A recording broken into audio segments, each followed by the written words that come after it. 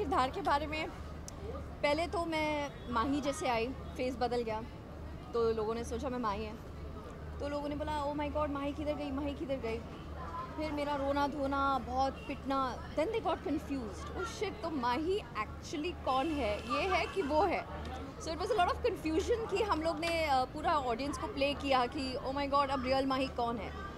Then slowly slowly as you know it's T V I come across as a friend कि मैं माही और सत्या को help कर रही हूँ और उसके बाद मैं बन जाती हूँ ईविल उसके बाद love interest with Satya. Television you know I love it because I love Indian clothing so I am actually happy इसके ऊपर डांस कैसे करेंगे वो अलग स्टोरी है but yeah I love it बहुत एक्साइटेड हूँ। इनफैक्ट रिहर्सल्स में I was going to the other performance as well पीछे और सबके साथ डांस कर रही थी।